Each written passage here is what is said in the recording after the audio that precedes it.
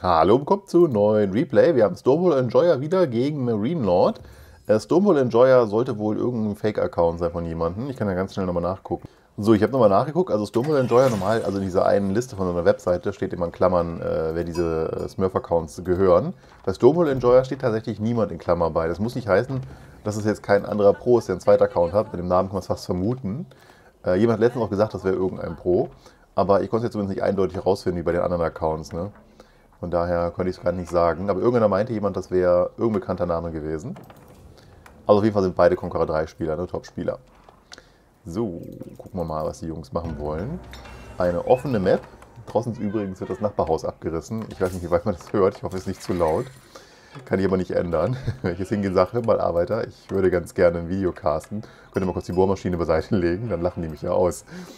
So, also England. England ist wahrscheinlich ein bisschen herausfordernd hier auf der Map, oder? Gegen den Stonewall Enjoyer mit Mongolen. Also ich sage ja immer, wenn die Map weit auf ist, kann ich mir vorstellen, dass halt Pferdchen gut sind. Ne? Dann kann man ja schlecht hier zubauen. Also unmöglich ist es nicht. Man kann ja auch eine kompakte Bauweise machen mit Sicherheit. Ähm, aber es ist schon ein bisschen schwieriger. Also ne, so ein Engländer, wenn er gerade vielleicht sagen wir mal ein Wirtschaftsspiel machen möchte, dann ist ja schön, wenn er eine Mauer, eine Palisade irgendwo ziehen kann, die sinnvoll ist. Ist ja hier nicht. Außerdem braucht er ja eine Menge Holz. Ähm, da ist so ein kleiner Patch, ja. Da hinten ist so ein kleiner Patch. Also ich stelle mir England hier als leichte Herausforderung vor. Weiß nicht genau, ob das die beste Nation-Pick dafür war. Vielleicht, wenn er was Besonderes spielt, also einen frühen Waffenknecht zum Beispiel. Und das scheint auch der Mongole zu befürchten, weil er hier einen Turm baut. Aber die Standard englische Strategie, ne, dass man Farben hochzieht und Langbögen zum Beispiel baut, dazu ein paar Speere, das ist ja Unmengen an Holz. Ja, das ist ja hier, kann man nicht von Unmengen reden. Die ganze Map ist ja nicht gesegnet mit Holz, also das ist ja, das ist ja ein Albtraum holzmäßig hier. Also England mit einer weniger holzlastigen Strategie ist ja möglich, ist ja kein Problem. Man kann ja englische Ritter spielen, Waffenknechte spielen, geht ja alles. Ist halt nur nicht unbedingt im Meta, hätte ich gesagt. Äh, von daher bin ich mal gespannt, was er anstellt. Da muss ich auch nicht mit den Farben arbeiten, obwohl das auch so ein englischer Vorteil normal wäre. Aber gerade wenn man was macht, was der Gegner nicht erwartet, und das könnte ja mit England jetzt wahrscheinlich anvisieren, kann das ja ein Vorteil sein. Weil der Gegner halt nicht darauf eingestellt ist gerade Age of Empires 4 auch auf diesem Niveau, ist ja oft so, wenn ihr überrascht werdet, ihr habt so viel gleichzeitig zu tun, dass ihr manchmal gar nicht die Zeit habt, im Tiefe darüber nachzudenken, was die beste Antwort wäre. Das ist bei dem Spiel wirklich äh, sehr herausfordernd. Berg.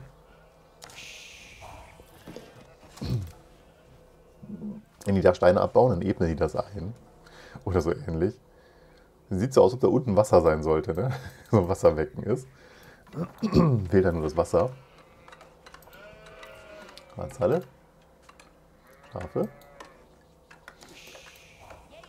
Viermal mit der Ratshalle. Okay.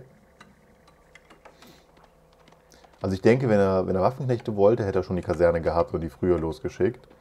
Also geht dann wirklich einfach auf die Bogenschützen. Ist halt die Frage, ob das wirklich genug Holz gibt. Also ist immer so, wenn er den halt rusht, seinen Gegner, dann kann er ja sicher Bögen und Holz machen, bevor das hier alles der Patch und er an die Ecke muss, wo, wo eigentlich Selbstmord ist. Im Grunde genommen kann er auch Holz an sowas abbauen, ist halt nur ne, äh, ein bisschen problematisch aus zwei Gründen. Man muss halt dann für fünf Arbeiter mal einen Turm dabei packen. Und der andere Grund ist halt, dass ihr äh, diesen ganzen Laufweg habt, Ressourcen und von da zum nächsten Waldpatch her müsst und so weiter ne, und mehr Holzfällerlager braucht. Wenn der Mongole, wenn es hier so Patches gibt wie das hier, ne, mit dem Ger nachher, in dem Ger sowieso, aber mit dem ähm, ah, ihr wisst schon, dem, dem Readout, ähm, natürlich viel, viel besser abschneidet ressourcenmäßig. Aber nicht jeder Vorteil ist unbedingt auch spielentscheidend.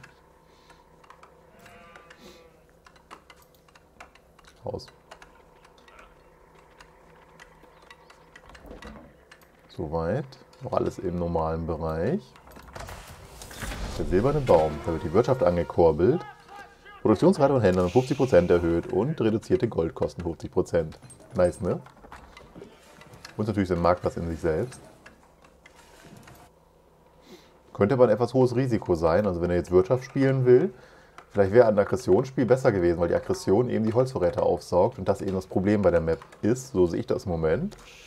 Ähm, na, es wird hier ein Wirtschaftsbild wohl anvisiert. Also wird jetzt hier ähm, bei der Dorfzentrum machen. Dann lohnt sich vielleicht der Wirtschaftsbild auch schon fast aber dagegen.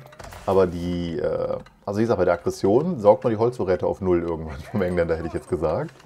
Also ich hätte ein aggressives Spiel wahrscheinlich vorgezogen, zumal er ja offensichtlich auf Wirtschaft geht, das habe ich von Mongolen gerade gesehen, aber der Khan war ja gerade hier. Und von daher äh, gäbe es eigentlich auch zwei Argumente, eben hier jetzt Druck zu machen als Mongole, statt jetzt einen eigenen Wirtschaftsbild zu machen. Ne? Wenn es denn einer wird, aber wo wir sonst gebaut haben. Also generell kriegt er damit mit den Karawanen wahrscheinlich mehr raus, als er da oben mit dem Dorfzentrum rauskriegt, der Engländer. Und da ist ein langen Bogen. Und ist das Gold aus. Achso, ich habe gar nicht umgeschaltet, ne? Die Bohrmaschine macht mich ganz curry hier. Äh, was hast du denn? Kein Holz für die Karawane. Was übrigens auch ein Grund wäre gegen das Holz, ne? Ja super, jetzt hatte die Karawane, kriegt er nichts raus. Also im Sinne von, hat er ja nicht, ne? Ihm fehlt das Holz. Warum sammelst du denn kein Holz? Ich, ich bin total perplex. Was, was ist denn da die Strategie? Hä? Warum hat er das denn? Hat er das nur als Marktplatz gebaut? Echt? Okay. Hat noch keine einzige Einheit auf dem Feld, hat noch nicht mal ein Gebäude dafür gebaut. Bin noch nicht ganz sicher, wo der Stonewall Enjoyer hin will. Wird auch bei den Punkten entsprechend zurückgeworfen, auch wegen dieser Raid hier. Und der hat voll seinen Spaß da vorne. Er braucht für irgendwas jetzt ein paar Goldstücke. Also das sieht so aus, als ob man ein schnelles Zeitalter machen will, ins dritte gehen möchte. Den Readout wahrscheinlich auch. Aber der Engländer hat natürlich seinen Spaß mit dem einen langen Bogen. Jetzt will er mit dem Messer das Ganze clearen. Ja klar, der geht jetzt einfach weg. Das ist auch ein No-Brainer, dass er das nicht machen kann. hat halt einen Speer dazu gebaut. Jetzt kommt der andere Speer. Wo ist denn der Kahn? Ja, er will halt hochgehen, das nächste Zeitalter. Also von allen möglichen Strategien hätte ich jetzt gedacht, dass der dritte Zeitalter-Rush, dass das die schwächste ist gegen einen Engländer, der im zweiten Dorfzentrum arbeitet hier bei dieser Map. Also ne, mit der, wie gesagt, äh, Handel hier unten, mit der Karawane, hätte wahrscheinlich mehr gemacht als das Dorfzentrum, das wäre eine Konter gewesen. Und ein Rush auf dem, wo er kein Holz hat und wo er Wirtschaft geht, wäre eine gute Konter gewesen. Aber jetzt diese dritte Wahl sozusagen, wo man ins dritte Age geht, ja, das ist ja so ein bisschen halbe Wirtschaft nur, äh, hätte ich jetzt als die schwächste von diesen drei Strängen bei den Mongolen interpretiert. Mal gucken, vielleicht geht es ja auf. Also, die machen sich ja Gedanken bei den Spielen. Aber ich glaube, dass das nicht der beste Call war. Und man sieht ja auch, dass das ein bisschen hier äh, problematisch mit dem Ding ist. Vielleicht hätte eine Kaserne dabei bauen müssen, mit der es überhaupt funktioniert. Also gerade im Engländer hätte ja alles kommen können früh. Das sind halt drei Idle Arbeiter für den Rest des Spiels, gefühlt. Ja, nur einer. Also selbst den müsste er eigentlich nicht machen, weil er hat ja hier einen Speer, obwohl der natürlich äh, Lowlife ist. Was mit dem Kahn passiert? Ist der gestorben ihm? Da ist er Tatsache irgendwo verloren. Jetzt konnte er vielleicht so aggressiv werden. Ja, aber der Mongole ist ja hier äh, super weit zurück, ne? Was spielt er denn da, der Stonewall Enjoyer? okay, epischer Sieg. Ähm, naja. Hat er gerade gehandelt. Ja, und jetzt kommt der Readout. Ja, und dann geht's äh, ans Gold, ans Eingemachte. Und dann kommt der Ritterspam, ne? Dann ist halt Nahrung äh, mit Dings, ne? Hier. Was machst du eigentlich mit den ganzen Steinen? Aber er hat 600 Steine über. Das ist der erste Mongole, der keine Steine nutzen will im Early Game, was ja auch deswegen dem Engländer jetzt diesen, diese Aggression gegeben hat, die funktioniert hat sehr gut, ich finde. Das zweite will nochmal machen. Er hat aber fast geklappt, den Sperre bekommen. Aber es ist ungewöhnlich, ein Mongole, der einfach systematisch auf Steine verzichtet. Also er hätte ja auch zum Beispiel, das Ding hätte er ja hier vorne hinpacken können, hätte Doppelkarawanen kaufen können dafür, oder? Das wäre so ein bisschen Handel gewesen. Ja, oder meinetwegen, na gut, das kann er da nicht hinsetzen für Doppelarbeiter. Aber es ist halt ungewöhnlich, dass er es nicht benutzt. Vielleicht macht er das für Doppelritter. Vielleicht ist das eine neue Strategie, die er ausprobiert. Deswegen vielleicht auch der Fake-Account. Dass er einfach sagt, ähm, er will mal was Neues probieren. Dritte Zeitalter rushen. Und der Rush ist auf jeden Fall nicht so schnell jetzt. Und dann äh, ein Doppelritter oder irgendwas. Ja, jetzt kommt hier der Stall hin. Also es muss Doppelritter werden. Das andere wäre... Hmm, das ist ja wieder doppelt. Also, was willst du denn jetzt mit dem ganzen Goldvorrat? Wie willst du das denn verwerten, das Gold? Jetzt macht er Waffenknechte. Um vielleicht, äh, ne, weil hier vorne, weil er Speere erwartet hat, die auch schon da drin sind. Aber ist das wirklich der beste Call gewesen jetzt? Also die Unmenge an Gold, die er sammelt, das ist ja der einzige Vorteil, der Readout bringt, im Grunde genommen, könnte man fast sagen. Und die Ritt also Ritter hat er ja eben zweiten, aber ne, es geht ja um nur um das, es geht ja eigentlich, eigentlich nur um das Gold, hätte ich gesagt. Aber der will Waffenknechten-Spam jetzt ja abziehen. Okay. Also schon die richtige Einheit gegen das, was der da hat, der Engländer. Aber ähm, die Ritter, also es ist eine riesen Fläche, ist auch eine offene Fläche. Ich gucke halt, was da los ist. Mit den Rittern hätte man, glaube ich, schon äh, Winkel gefunden, Speer hin oder her. Ne, das ist ja alles offen. Das ist ja, bedenkt ja, wenn der Holz will, muss er ja an diese ganzen Slots irgendwo dran. Ne? Der kann ja nicht überall Speere und Türme stehen haben an jedem kleinen Waldpatch. Also ich glaube, dass die Waffenknechte viel zu langsam bei der Map werden könnten. Morty hat jetzt einen Zweierpack. Ja, und dann im Viererpack, also es wird jetzt Waffenknechte-Spam, so ein bisschen der umgebaute Burggrafenpalast. Anti-Pfeil. Aber, also ich weiß es halt nicht. Auch die Unmenge an Gold, die jetzt da sammelt, das, gibt das nicht einen Goldüberschuss, wenn du das so spielst? Das kann er niemals benutzen, also die kosten ja nur sehr wenig Gold, die Waffenknechte, also... Zack. Hm. Kann mal überraschen lassen, aber ich sehe halt einfach nicht, wo was er mit dem Gold will. Ja, er braucht ja fünfmal so viel Nahrung wie Gold, um die zu bauen, macht aber doppelt so viel Gold wie Nahrung. Also das passt doch vorne und hinten nicht, hätte ich jetzt gedacht. Klar, ein bisschen Gold braucht er für die Tags noch dazu, das kann er sicher machen, aber unendlich viele Tags sind das ja auch nicht. Hm. Nicht sicher, was er da machen möchte.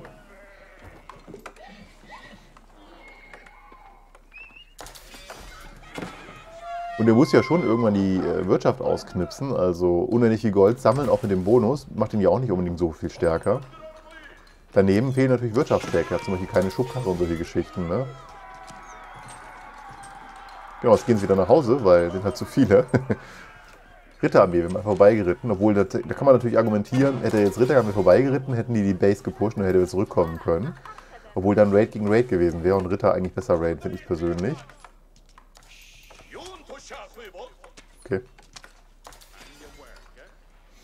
Ja, aber der Engländer, der ist sehr gut dabei, ne? Marine Lord hier.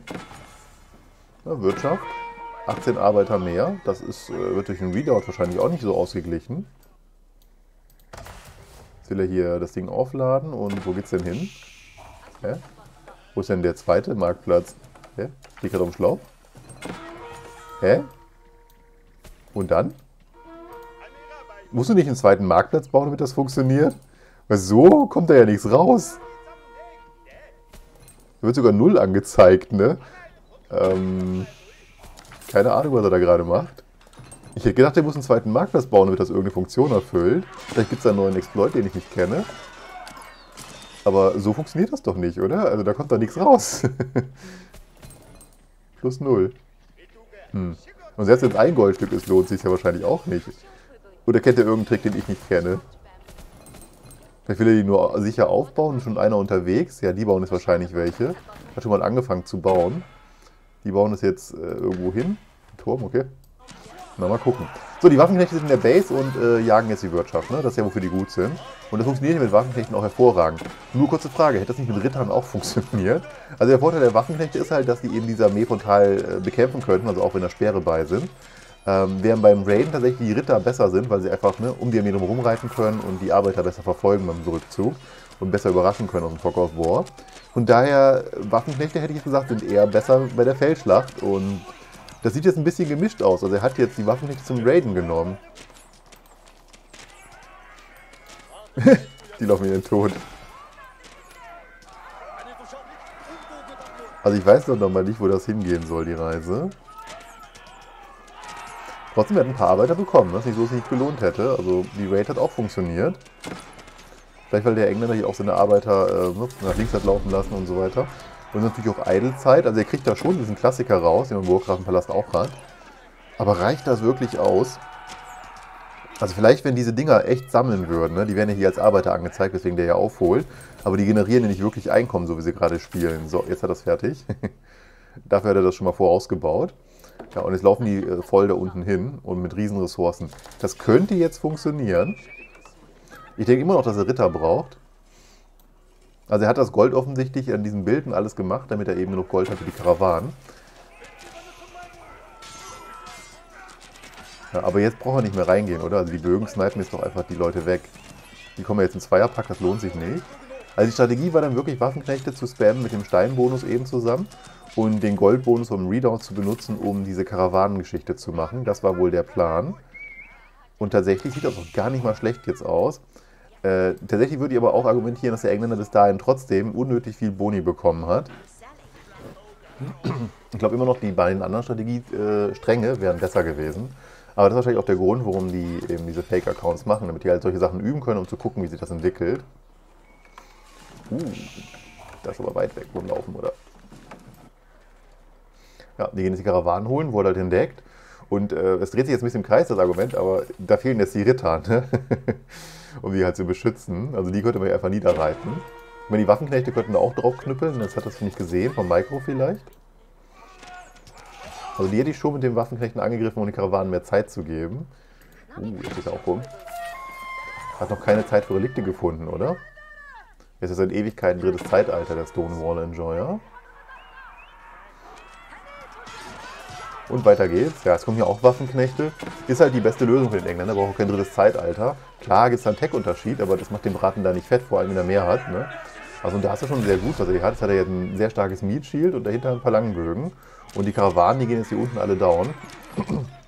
Bis auf die 5. Ja. Ich hätte ja die Ritter vorgezogen. Egal. So, er hat jetzt 2000 Gold über, weil die Karawanen angekommen sind. Also er hat da schon was rausbekommen. Ne? Mal der Route haben sie sich vielleicht auch noch einmal schon locker gelohnt. Also die haben ja weit über diese Ressourcen reingebracht, die sie gekostet haben. Ne? Kosten 90 Stück. Und eine Karawane bringt hier vorne, immer noch Holz bei gehabt, naja, aber 100, äh, 186, äh, 185 bringen sie. Ne? Also selbst wenn die jetzt gestorben sind, äh, sind ja fast alle, bis auf 6, bis auf 5, die drin sind, ne? hat er äh, 90 Goldstücke Gewinn bekommen. Also im Grunde genommen kann er, wenn er eine verliert, ne? Wenn die einmal durch ist, kann er zwei neue dafür kaufen. So, jetzt geht's los, große Party. Also die Route scheint sich schon ausgezahlt zu haben. Die Frage ist aber, ob die Strategie sich ausgezahlt hat. Ne? Muss ja mal gucken, ob eine andere Alternative nicht mehr gebracht hätte oder ob der Engländer in Zeit stärker gewachsen ist. Und er hat ja so eine durchgehende Wirtschaft am Laufen, der Engländer. Hier sieht übrigens das Holzproblem des Engländers ein bisschen, denke ich. Aber er hat ja jetzt auch Waffenknechte angefangen. Bräuchte halt ein bisschen mehr Gold offensichtlich, weil ich weiß nicht, was er mit 2000 Nahrung jetzt möchte. Hat ja auch noch 2300. Also wird das jetzt so ein viertes Zeitalter-Dingi, aber du bist ja noch im zweiten zur Erinnerung. Am vierten kriegt man ja Gold für die Farben, wenn man das freischaltet. Aber er hat ja noch einen riesen Weg bis zum vierten Zeitalter. Von da hat er jetzt ein bisschen viel Nahrung, ehrlich gesagt. Ein bisschen sehr viel Nahrung. Und er müsste dann Ställe bauen, damit sich das lohnt. Sehe ich aber auch noch nicht kommen. Also nicht ganz sicher, warum er so einen riesen Vorrat macht.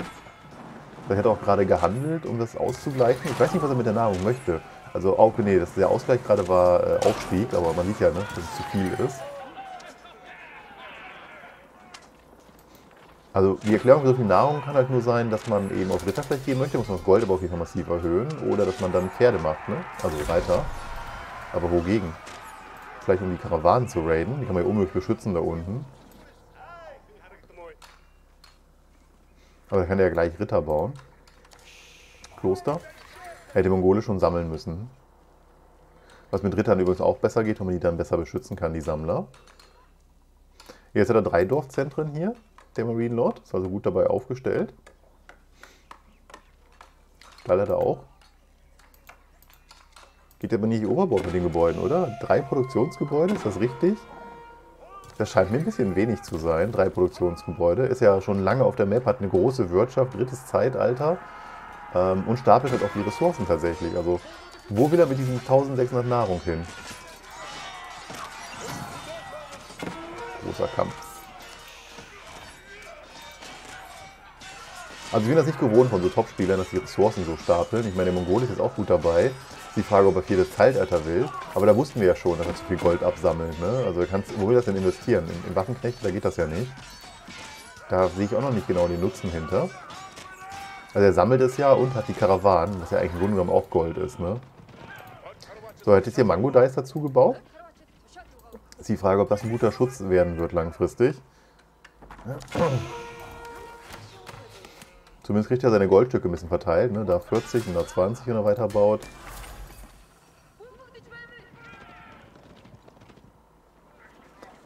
Da kommen sie. Also ob Mango da jetzt wirklich gegen Langenbögen und Waffenknechte super sind, das würde ich bezweifeln. Zumal die haben ja auch viel schneller die Karawanen getötet, bevor die Mango Dice sterben. Allerdings muss man auch hier sagen, jede Karawane muss ja nur einmal durchkommen, wie wir wissen. Dann hat sich ja schon gelohnt. Da kommen die ersten Ritter. Jetzt kommen die Produktionsgebäude, Kasernen.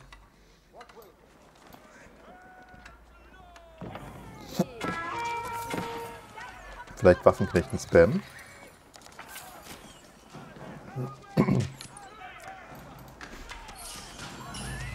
Fünf Arbeiter in Sicherheit. Relative Sicherheit. Ich glaube, das Ding kann man abbrechen und die Ressourcen weg, wenn das kaputt geht. Sieht auch so aus, ob er es nicht sieht. Also scheint ihm das Mikro zu fehlen an der Stelle. Oder? Kriegt man das dann, oder kriegt man einen Refund, wenn das Gebäude zerstört wird, während es noch im Bau ist? Aber er könnte kurz aussteigen, reparieren, damit er das noch bekommt. Möchte er nicht? Okay. Er ist fertig geworden und das Gebäude. er macht in der letzten Sekunde, er hat sich eilig gehabt. Okay. Da habe ich nichts gesagt, super gemacht. Mich hätte das zu sehr gestresst. Sammler. Ja, die Mango Dice, im Moment scheinen die ja so ein bisschen zu klappen. Also die Handelsroute wird mobil verteidigt. Zwar nicht mit Rittern, aber mit Mango Dice. Ähm, und das geht ja auch. Nur wenn jetzt der, von, der Engländer mehr, mehr Ritter baut, und da spricht ja eigentlich nichts gegen von seinen Ressourcen, wäre perfekt für ihn. Ähm, ne, hat auch zwei in Produktion gegeben schon. Da sind die Mango Dice, glaube ich, nicht mehr so episch. Die schießen den ganzen Tag dann da drauf und er will ja die Karawanen nur angreifen. Er muss ja nicht die Mango Dice jagen. Das ist alles, was er machen muss. Und da hat er den Wirtschaftsvorteil. Das mit den Relikten ist ein bisschen ärgerlich, dass das halt nur der Engländer im Moment sammelt. Ne? Wobei, ich sehe gerade hier unten, die haben beide Relikte. Inzwischen hat er auch eins bekommen. Da ist es. Ja, also die Stonewall Enjoyer Strategie ist offensichtlich ähm, wirklich die Handelsroute am Leben zu halten. Das wollte er haben, was will er machen? Also eine ganz, ganz neue Handelsstrategie. Von schönen Handelsscreenshot.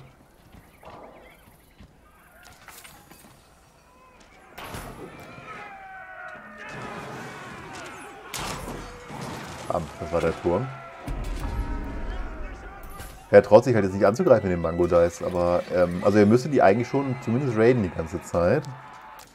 Er sieht sie ja auch, also es gibt keinen Grund jetzt, ne, hier sowas zum Beispiel zu ignorieren mit der Armee. Ich weiß nicht, worauf er da jetzt genau wartet. Sicht hatte er. Da ich nochmal zurück zu dem anderen Punkt. Wenn er Ritter gebaut hätte, hätte er auch einfach zwar die Karawanen aufgegeben, aber hier alle Arbeiter getötet. Und weil die jetzt zu Fuß gehen, hätten die länger gebraucht, um seine Wirtschaft zu vernichten, als er gebraucht hätte, um diese Wirtschaft zu vernichten, vermute ich.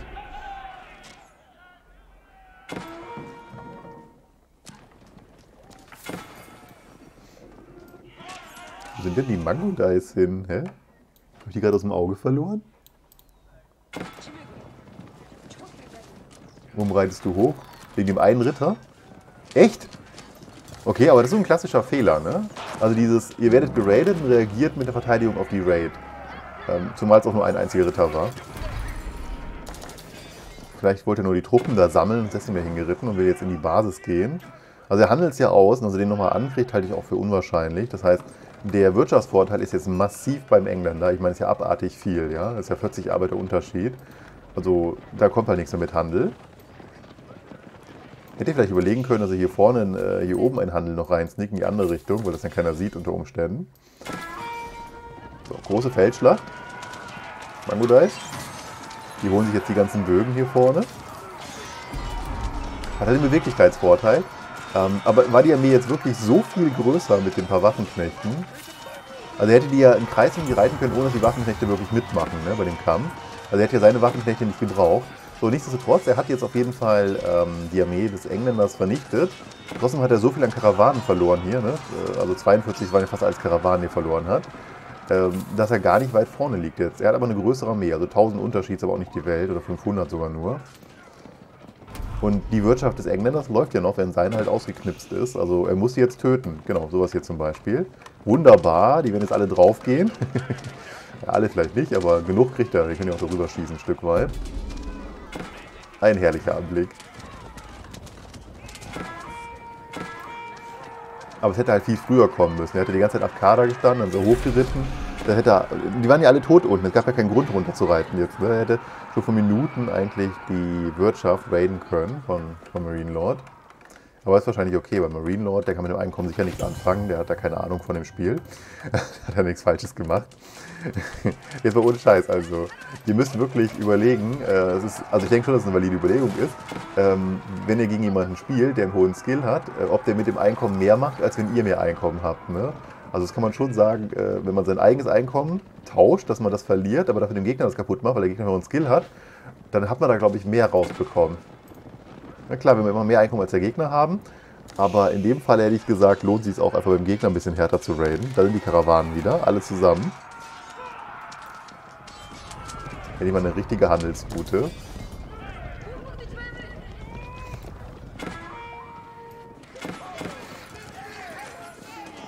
Also wenn ihr jetzt immer wieder den Blob töten könnte, ich glaube nicht, dass sie das schaffen, dann, äh, ja, das sind die Mangel, dann könnte sich das mit der Karawane nochmal lohnen vielleicht. Aber diese, diese Aussetzer, wo er einfach mal so 50 Arbeiter weniger hat in ein paar Minuten, also ich weiß es halt nicht, ne? Und die sind ja schon in dieser Zahl drin und 16 sind AFK, nicht sicher, wer jetzt AFK zählt, irgendwo da Arbeiter stehen. Ja, Mangen sind halt ein Problem. Ich kriege mit Mango da ist nicht ohne Probleme kaputt. Hat halt hier haufenweise Gold. Jetzt sterben sie wieder alle.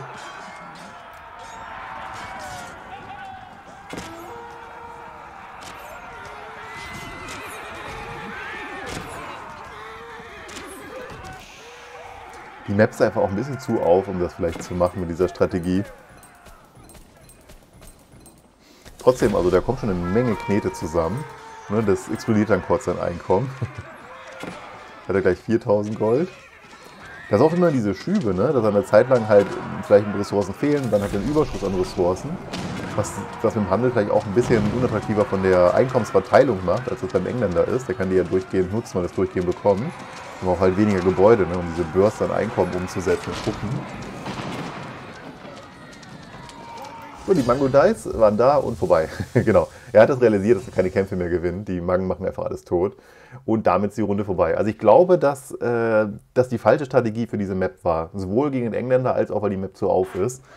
Äh, das wäre zumindest jetzt mein Eindruck.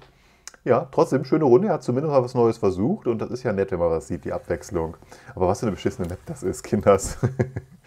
Egal, ich will weg für heute. Ciao, ciao.